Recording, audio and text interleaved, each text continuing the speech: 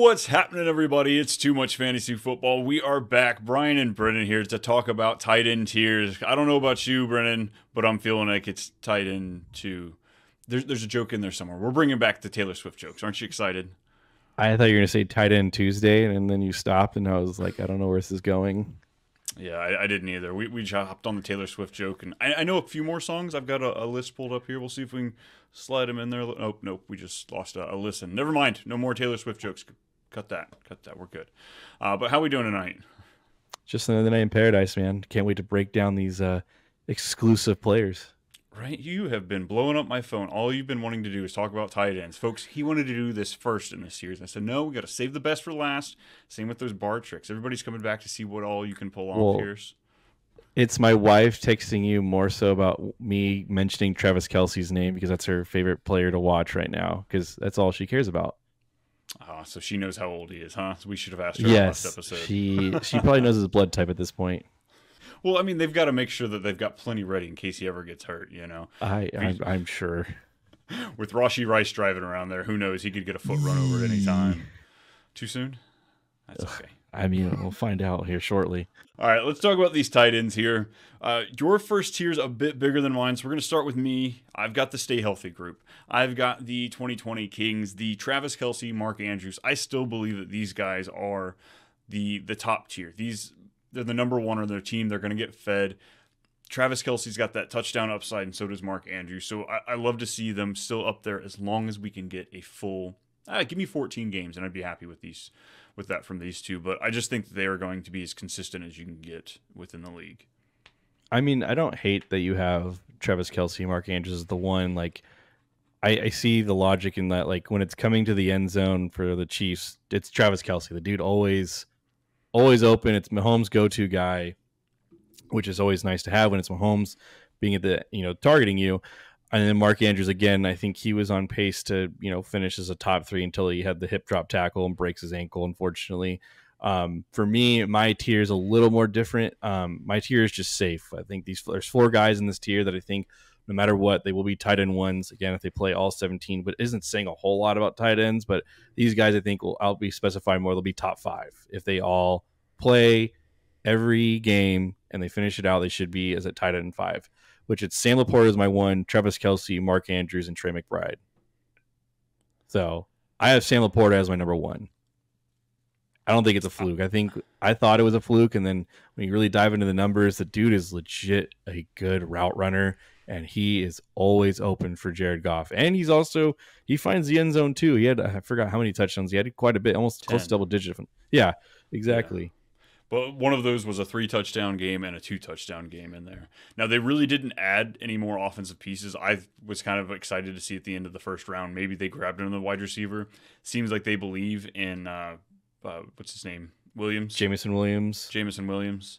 Uh, yep. So I, I, guess maybe we're gonna see him finally get unleashed here in year six, seven of him. No, I'm, I'm being dramatic. I'm sorry, this, but uh, I don't hate Sam LaPorta. I think he is safe. He's in my next tier for me. I just think that there is the experience between the chemistry between the the offense and the you know the tight end and the quarterback in that first two tiers. Uh, because I do have uh, LaPorta, McBride, but I've got them looped in with Dalton Kincaid, who just jettisoned all the targets. 53 targets, 53% of the targets were vacated from the Bills. So Dalton Kincaid should have one hell of a season. And then Kyle Pitts we just had the schedule drop a couple days ago. Falcons have a pretty nice schedule.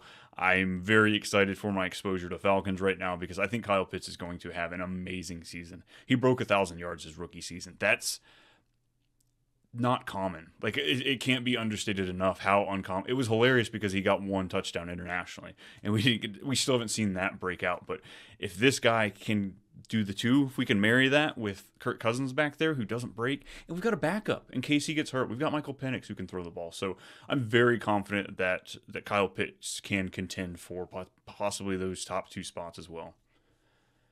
No, I agree. I mean, my next tier is the potential to be the number one tight end. So it's Dalton Kincaid and Kyle Pitts. Again, like you said, Dalton Kincaid is in a situation where his competition is James Cook, who granted he's good receptions, and then Keon Coleman, who they drafted in basically the late first, beginning second, Curtis Samuel and Khalil Shakir. I think there's a pretty big possibility that Dalton Kincaid leads his team in targets.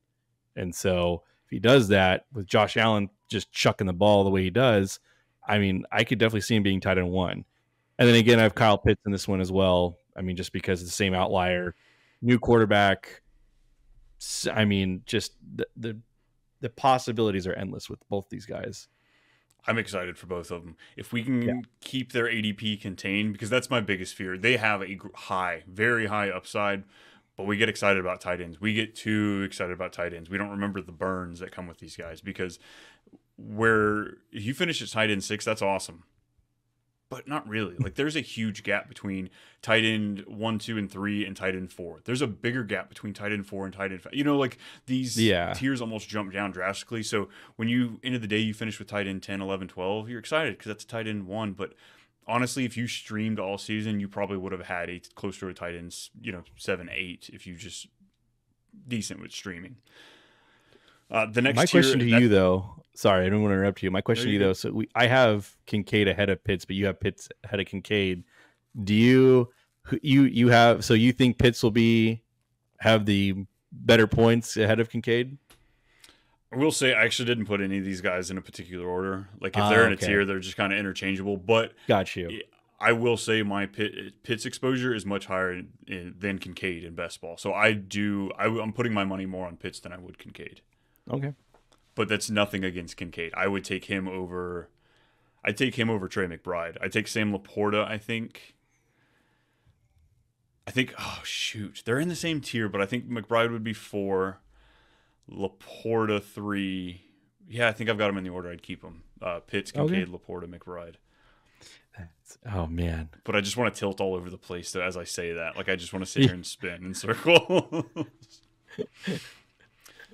let's just say if I don't get the, these six tight ends, I'm not taking one until double digit plus rounds. Uh, this next tier for me is load in tight end one, George Kittle, Evan Engram, uh, David Njoku, Jake Ferguson, Hunter Henry. I think all of these guys, they'll have enough uh, involvement, they'll have enough touchdowns, targets if you're Evan Engram, that they will be involved, but they're going to have those dud weeks that really hurt you, that they don't warrant the high uh, draft capital that you're going to probably have to spend for these guys. Because uh, Evan Engram and David Njoku, I've loved for the last two years, but uh, now at this point, they are too rich for me. Cannot afford them. Fair enough. I mean, for me, I have uh, Evan Engram and David Njoku. I meant to switch out George Kittle this year, but I think it's underrated, undervalued. I still think Evan Engram, for whatever reason, is just I mean, he's just been solid with the Jags, and I think there's no signs of slowing down. He knows the system. And Trevor Lawrence clearly have a connection with one another. So I know the price is probably high on him, but for whatever reason, in most of my drafts, tight ends just fall. Like it's just they'd rather like I'd rather have a wide receiver three than this tight end. I'll get one later. So like these are guys, these are two guys that I think will eventually fall in actual drafts that you're part of, just because they're just not sexy picks. But I feel like both of them will just be you'll put him in as your tight end. You'll you'll start him. And you don't have to really worry about it because at the end of the day, they will finish as tight end one. It's not saying a lot, but you just know that it's just you don't have to worry about that position.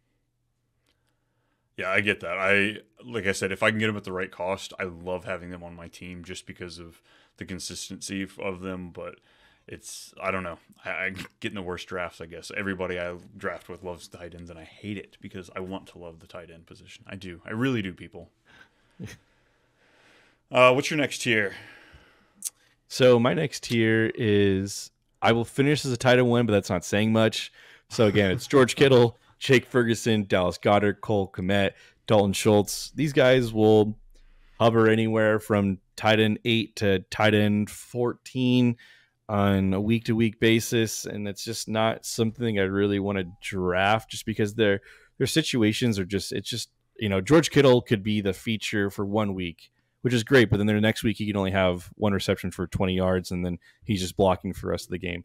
You know, Jake Ferguson, again, like I think he's probably a little bit higher in this one just because Dallas didn't do a whole lot to fix their situation. Um, but again, that could get that could get really messy just because if they start to know that you're going to throw it a lot, it covers down on you. Um, Cole Kmet, again, he's late in the pecking order. Dalton Schultz is, I mean, you got three wide receivers that could potentially, you know, have all finished as high as, you know, wide receiver two, wide receiver one. It's just hard to, to break out in that group. And then, so I, I, this is a tough group. These are guys I'm probably avoiding at all costs. I worry that I do get too excited about Ferguson because I have him in a tier above where you have him. Uh, he Yeah. gave you seven top 10 finishes last year. I just think that you're not going to find that consistency with the rest of these guys. So I, I want to like him. Like you said, Dallas is going to throw the ball a bunch. Brandin Cooks, I, my exposure to him is, is growing a little bit, but I worry is that age cliff there. And then who knows behind them with those other wide receivers, you know? I won't be owning anybody. Like Dallas Goedert, Schultz, Kmet, and I've gotten Brock Bowers in that tier for me. I just don't want to own any of them. I won't spend if I stream them because they hit the waiver wire at some point during the season, sure, but I can guarantee you I don't think I'll spend a dime on any of these players just because they're going to be falling probably what rounds 10, 11, 12, 13 somewhere in there. At That's that around point, there. just- yeah, double digit rounds. Yeah. at that point, give me a tight end with you know one of my last couple of picks, or maybe two of my last picks, just to you know see who's going to really play after week one because you don't want to hold these guys. If Kmet just comes out and drops an egg or gives you less than four points week one, uh, do you really want to move on to week two with that? Probably not. So I'd much rather take my shot at a wide receiver at that round in the draft. Yeah, I would say like for those for tight ends, like probably it's a three week hold. I'd be like, just it's after three weeks. That's unless you see some somebody on the waiver wires that put up two touchdowns and hundred yards, and you're like, that's the new hot commodity. I'm gonna replace that. Yeah, I was gonna say Sam Laporta went undrafted in so many leagues, and he was coming on round one, two, and three, and that's the worst situation. If you're sitting there holding a guy that you drafted in round twelve at, at Dallas Goedert, and you're like, the Eagles are good, they're a great team, and then you just let something like that bypass, and that's that's the hardest part for me. So I want somebody that I can easily cut that I take in the last round that I feel no remorse for, and Mm-hmm. you get caught up in emotions with 12th and 11th round tight ends. Don't do it, people. Don't do it. Brendan, you got anything else for us tonight?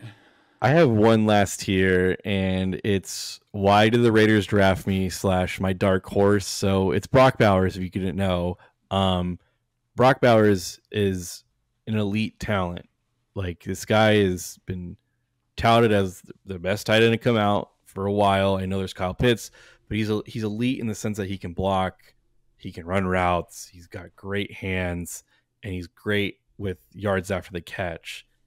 I when you take someone like that, you do have to somewhat implement him early on to kind of see what what he's going to do.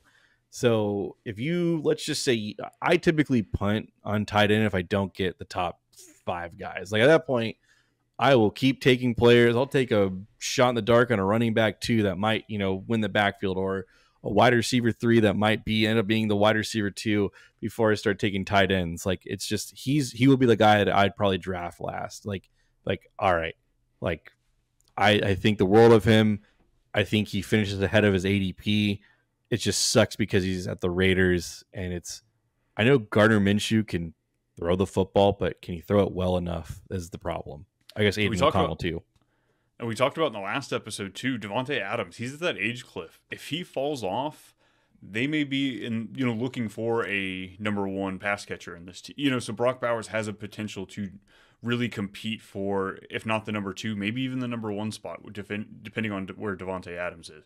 Julio Jones fell off so quickly, so unexpectedly. So we can't ignore that with some of these older wide receivers. So if Brock Bowers, I imagine his ADP is going to keep falling. Right now in best ball, he's going at, at tight end 10. A lot of that's from the pre-draft hype. So we're watching, you know, th- this adjust. But if we can get him significantly later, tight end 17, tight end 18, tight end 20, even if people are really turned off by just this landing spot, I think that's where we can have an advantage at drafting him late, late in the in the uh, in the drafts. Yeah, I agree. Well, let's get out of here. Before we do, make sure we tell everybody where can we find us. Of course, here on the Fantasy Football Advice Network, we're following, we're clicking the bell. We've got those notifications turned on. Brennan, what else you got going on? I am on Twitter on FFAN BMulk, and then you can find me on the Facebook group on F Fantasy Football Advice Network, and that's about it. Where you can find me most times. And unfortunately, due to YouTube's, uh, they, they held us back. We couldn't do the bar tricks that we we talked about doing. So head over to the Facebook group, the uh, Fantasy Football Advice Network, and Brennan will be doing them there, posting videos left and right. So keep an eye out. You can find me at too much underscore Brian on Twitter, and of course all over the place. Check out my best ball show. We've got too much best ball. Just dropped another episode the other day. We're talking about well, the schedule drops. We have to make sure we're ready for the season. But until next time, we'll see y'all later.